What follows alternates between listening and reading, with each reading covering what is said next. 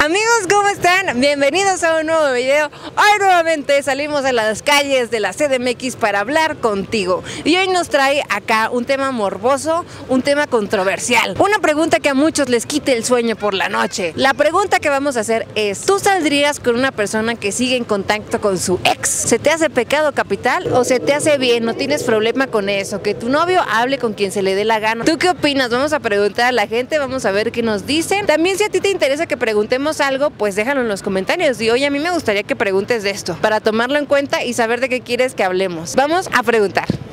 ¿Cómo es su nombre? Yadira. ¿Tú crees que cuando tienes un novio o pareja, esposo y cortas, debes seguir hablando con él o ya lo mandas a volar? Por los hijos, más que nada. Y si no tuvieran sus hijos juntos, ya no hablaría con él. Yo digo que no, ¿para qué? Dice, "No, se cae nos bien une gordo". Nada, o sea, ya no nos une nada y me falló, pues ya para qué seguirle. ¿Ahorita usted tiene pareja? La Es que sí, sí tengo. Ay, es que ya no sé, que sí tenía, pero pues apenas supe que es casado. No me diga eso. Yo estaba con él, hacíamos videollamadas con su familia y todo. Él me dijo pues que era separado y todo, y así anduvimos. Tomó y dejó su cel desbloqueado, se lo revisé y vi pues que todavía ¿Estaba vive con la esposa. No puede ser. Revisé con cuántas mujeres traías en el cuarto cuando yo no estaba. ¿Traía también aparte más? Traía- Se se llevaba pone peor más y peor. Él no va a cambiar. Sí, cambia de mujer, no cambia de personalidad ese hombre. Amigos, ¿estamos con? ¿Cómo se? Jimena. Jimena, ¿has tenido un novio? Ah, No, sí. eh, sí, tal vez, tal vez, sí, tal vez. Es que acá está mi tío y no. A ver, tío, vete. ¿Todavía anda? No, ya no. Ya no. ¿Tú qué piensas de que la gente sigue en contacto con su ex? ¿Te molestaría? Mm, mm, ¿Tú todavía te llevas bien con él? no, ya no. Te cayó gordo. Sí, es que no me gustó su forma de ser, pero vive bien cerca de mi casa, entonces cada vez que lo veo hasta le hago caras, como de enojo y como de vergüenza para mí misma. de enojo y vergüenza para mí mismo. ¿Te arrepientes de haber andado con él? Sí, aparte de que está bien feo. Es como cuando te gusta una persona y te deja de gustar y te das cuenta que estaba bien feo. Sí, me ha pasado muchas veces. Es un mal común, ¿no? O sea, que te gusta alguien y luego dices, ¿qué le vi? ¿Qué le vi? Me odio a mí misma. Ya después que me dejó de gustar, me chocaba su voz y su forma de ser. Y luego tenía como un tipo bigote de leche. Bigote de Y a leche. mi hermano le sale, entonces I believe I can fly. ¿Y ahorita ha hablado con él desde ese entonces o ya Pues no? precisamente ahorita él está de vacaciones y está con su esposa. O sea, le acaba de pasar esto apenas. Ay, lo siento. Lo siento, perdón por preguntarle. Siento que le di justamente y yo, ay, no. ¿Cuándo vuelve? el 16. La incertidumbre. La incertidumbre de aquí al 16 no vamos a probar bocado, oiga. ¿Qué vamos a hacer de aquí al 16? Yo no ando con otra persona por darle su lugar, pero pues él sigue con su esposa y pues yo ya no voy a tener nada con él, ni ninguna relación, nada, nada. O sea, como de que lo descubrí, como que ya se destapó y ya se puso más descarado. Ay, no. Ay, no. No puede ser. Voy a ir a casa, voy a recoger mis cosas y Tiene cosas ahí en su casa. O sea, es que eran pareja. O sea, realmente le fue una gran mentira. Pues sí, sí, porque él salía de trabajar, yo me iba a su casa y me la pasaba con él, dormía con él y todo. Y su familia lo ve cada tres, cuatro meses, por eso yo pues, me la creí. Ay, jefa, póngale una cachetada de mi parte, por favor, se lo ruego. Quítele un terreno, hágale algo a este hombre tan desgraciado. Prométame que le va a dar una cachetada al menos. Amigos, estamos con Eric, Eric. ¿Tú qué te dedicas? eh, trabajo para el gobierno. Ah, trabajas para el gobierno, pero estás sonriendo. ¿Cómo es eso posible? ¿Qué opinas de eso? ¿Que la gente de gobierno sí es un poco mala encarada? No, no, yo creo que es mala fama la que tenemos. No, la verdad donde yo trabajo está muy bien. Te queríamos preguntar, ¿qué opinas de la gente que sigue en contacto con su ex? ¿Se te hace correcto o incorrecto? Si hay algún motivo para estar en contacto con, pues aunque no quieras, ¿no? Ajá, o sea, sí, los Eh, hijos o algo Sí, así, exacto. ¿no? Por ejemplo, si tienes hijos de por medio, pues siempre, a toda la vida va a haber Sí, ya te amolaste, ya- ya comunicación con el ex. Pero si es de novios y así, pues no, digo, pues ya si se terminó, pues se terminó y bye, ¿no? Por ejemplo, si tuvieras pareja y sigue en contacto con su ex, no por sus hijos, ¿tendrías problema? Yo creo que sí. ¿Pero tú crees que un ex te pueda buscar así nomás por la curiosidad de ver cómo estás o crees que anda buscando algo más? No, no creo que esté buscando algo más. ¿Tú Preferencia sigues en no. contacto con alguna ex? No, con ninguna. Vamos a poner a Marifer Centeno a analizar las microexpresiones de este hombre. Tú dices Sí, que no, no. la verdad que no. Es que tu cara dice, sí, déjame No, de digo, pues preguntar, sí, pero porque es que soy divorciado, entonces con la mamá Ah, de mi hijo, pues sí. Tienes que hablar, Claro. por supuesto. No, no. Mira, ya hay que dejar de preguntar cosas que te puedan meter en problemas. Mejor. mejor. ¿Y por qué le gustaba tanto a este hombre? Pues porque me gustaba él. Ay, no, pero si, mire, si no me puede decir tres cosas buenas de él, entonces no. Pues a lo mejor era el enamoramiento o el apendejamiento, quién sabe. Como vulgarmente, disculpe Sí, usted la la palabra, te enculas, pues. Sí, desgraciadamente, pues sí. uno Es se- un mal del que mucho se padece, ¿verdad? Desgraciadamente, yo me fui, dirán por ahí como gorda en tobogán con él. E incluso yo he salido con otra persona, pero no. No. Ay, no puede ser. Su defecto que tienes que no es él. No es- No es el otro. Ay, no puede ser. Incluso yo tuve ya problemas con su mujer, le mandé fotos. Ya sabe, le mandó, estuvo de telenovela. Sí, yo del coraje le marqué a su mujer y le mandé fotos de él y mías.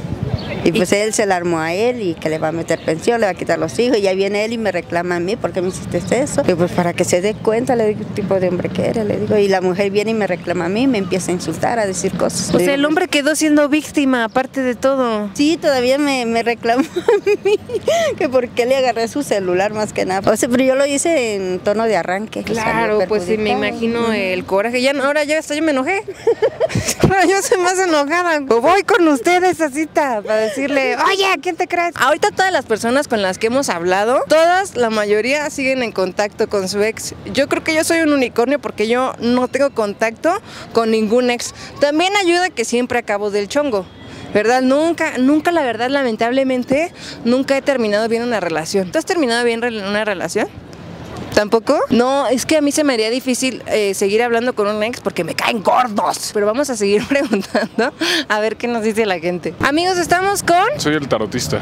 Eres el tarotista. Es que estás aquí leyendo el tarot por si alguien quiere.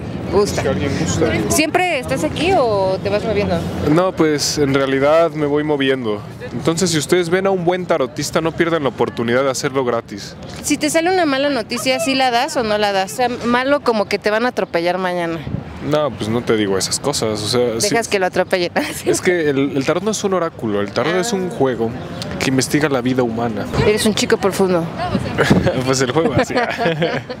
Oye, estamos preguntando en general, ¿tú andarías con alguien que sigue en contacto con su ex o qué piensas de la gente que sigue en contacto con su ex? No importa si somos hombres o mujeres, no tenemos por qué adueñarnos de nuestra pareja. Entonces, este, habla con quien quieras, pero muy particularmente yo no saldría con alguien que siga teniendo ese tipo de relaciones. O sea, sí saldría, pero no sería su pareja. Es más, ni siquiera tendría contacto sexual con esa persona. ¿Eres de los que piensa que cuando tienes contacto sexual como que tu energía se enlaza? Yo me he metido con 10 personas sin condón en mi vida, vamos a suponer que ustedes dos también, ¿no? Ajá.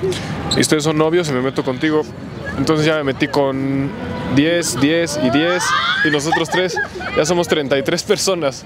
Y que esas personas se hayan metido con 10 cada una. Digamos, ¿no? Estás haciendo unas matemáticas que nos están volando el cerebro. ¿Tú lo habías visto así?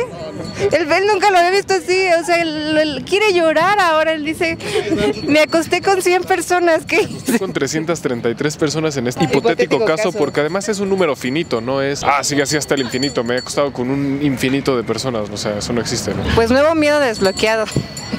Para Las todo. enfermedades de transmisión sexual es algo serio, es algo muy serio. Y si tú tuvieras una pareja y siguiera en contacto con su ex, pero no te dice, el tarot podría decirte. Sí, ¿Sí podría decirte? es que el tarot, te digo, no es un oráculo, pero pues luego ahí te- Pero es chismoso, siempre dicen que el tarot es chismoso, Es que tiene ganas de algo. contarte cosas. Es que te va a responder algo. Entonces ahí yo diría eso es psicosis.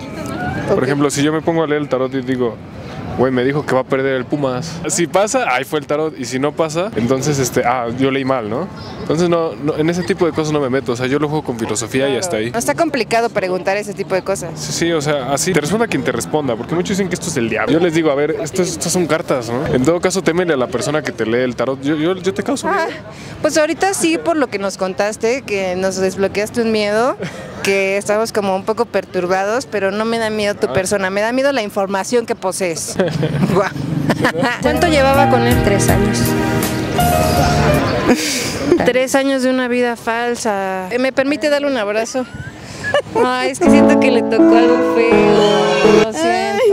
Lo siento, jefa. A todos nos han roto el corazón, lamentablemente. Y también la otra mujer que no sabía, o sea... Le dijo él según que ya no sigue conmigo. La otra mujer está así de, de que lo deja y no lo deja también. Como que ya me estoy acostumbrando a ya no verlo y como que me está haciendo asimilar de que ya no lo tengo. No, pues no le tengo, no le tengo que hablar ni escribir. Ahorita en la mañana platicamos y me dijo, dice, el lunes hablamos. Porque el lunes se va la mujer a trabajar y se van los hijos y se queda solo. No, no caiga, siento que va a caer de nuevo. Prométame que no. Nada más agarre sus cosas y como la dama que y reina que usted es, azote esa puerta cuando se salga y adiós pasado. Amigos, estamos con Camila. Camila ahí. Aldo. Aldo, ¿ustedes a qué se dedican? Eh, yo, relaciones internacionales. Que cosas como de empresas. Ajá, de diplomacia y así. Ignorante yo, así de cosas de No, gente bien. ¿Tú? Comunicación y periodismo. ¿Qué les enseñan a hacer? Porque yo los de comunicaciones los veo en todos lados, ¿verdad? O sea, de plano abarcan todo Te puedes especializar en medios, en prensa. para ser youtubers. Ajá, sí. Oigan, la pregunta que estamos haciendo hoy es muy interesante por lo que nos contaron ahorita. Cuando tú cortas con alguien, o sea, ¿se tiene que cortar así contacto con el ex o se puede seguir hablando con el ex? Y ustedes nos dijeron que eran ex, entonces, ¿cómo le haces para seguir siendo amigo de tu ex? En nuestro caso terminamos muy bien, o sea, todo quedó muy claro, entonces terminamos como amigos, terminamos chido, no, no tenemos ningún problema. ¿Cuánto duraron? Cinco años. Ah, bueno, es que ya eran más amigos, ya llegaron a vivir juntos. No. No. Como nos conocimos primero siendo amigos, como que eso también lo facilita un poquito. Tiene mucho que cortaron. Como tres meses. Ah, poquito. O sea, apenas así andaban chequeando así de cómo sigues, cómo estás. Estoy incomodando demasiado. Perdón. Como que sí habíamos quedado cuando terminamos que íbamos a seguir siendo amigos con los límites necesarios. ¿Ustedes creen que tuviera una pareja actual esto le causaría conflicto? Pues quizá a algunas personas sí les moleste. Y si a ustedes les dijeran, ya no le, ya no quiero que le hables, ¿se dejarían de hablar? Yo la verdad no, porque sí es como Tu amigo bien. muy amigo mío y pues alguien importante en mi vida, aunque ya no seamos pareja. Entonces dirías, lo siento, nuevo novio. Ajá. Está mejor el pasado, que ahora es amigo. Sí. Ajá. Mi compa. Y tú, si te dijera tu nueva chica, ya no le puedes hablar. No, tampoco podría, no. ¿Van a regresar? No, no, ¿No? no, no. Son amigos. Compas, compas. Es que ves, nos cuesta comprenderlo. O sea, yo ahorita a fuerza quiero que regresen. No.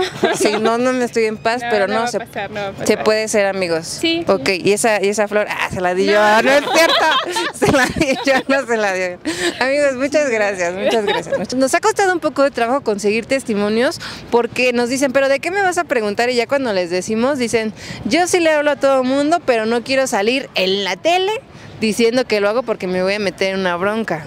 O sea que la mayoría de gente de verdad sí sigue hablando con sus ex, aunque digan que no es cierto. Llevaba siete años sola y a gusto. Yo tengo unas gemelas a gusto con mis niñas nada más. Y vino este hoy, ¿no?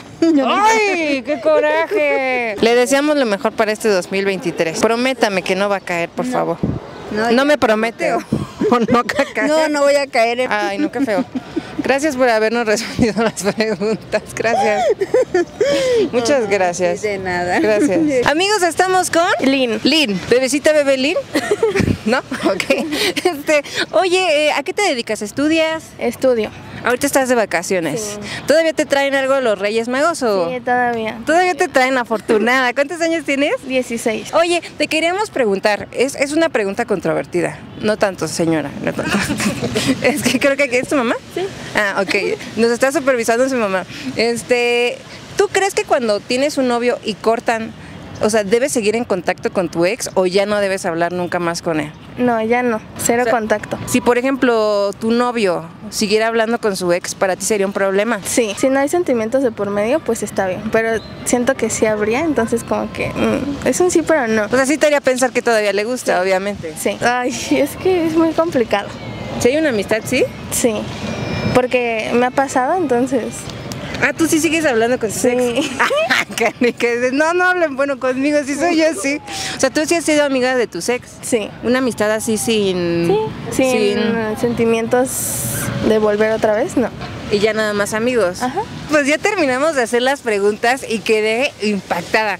Mucha gente respondió lo que quiso, pero estuvo súper interesante. Creo que logramos hablar con gente muy interesante. Siempre que salimos conocemos gente genial. Siempre nos ofrecen un punto de vista único. También creo que estuvo bien hablar con nuestra, güey, ella es mi amiga, que nos contó todo lo que le había pasado, de que su pareja tenía, tenía esposa. Siento que ella necesitaba desahogarse, ¿no? Y la verdad, fíjate que parecía que no nos iba a dar la entrevista y al final creo que fue la que más nos contó. Estuvo bien, a veces hace falta alguien con quien platicar, ¿no? A veces sí. A veces hace falta alguien con quien platicar y perdón, señor del pan, si a veces me toca descargarme con usted. Pero yo ocupo platicar cuando necesito desahogarme. Me gustó mucho este video. Espero que a ti también te guste. No olvides suscribirte, darle like, dejar un comentario. Si llegas hasta esta parte del video, te lo agradezco profundamente. Hay que poner un hashtag para saber que llegaron a esta parte del video. Ponle, te metes con uno, te metes con 100. Hashtag, te metes con uno, te metes con 100. Oye, qué información tan peligrosa y tan poderosa la que nos dio, pero tiene mucha lógica. No más que uno es, es flojo para hacer las tablas matemáticas pero dices, no manches, sí, aguas, aguas, hay que tener cuidado. Y también si tienes alguna pregunta que te gustaría que hiciéramos, déjalo en los comentarios, ¿no? También para nosotros saber de qué temas te gustaría que preguntáramos. Espero que te haya gustado mucho este video. Yo soy Eva María Beristain y nos vemos en el siguiente.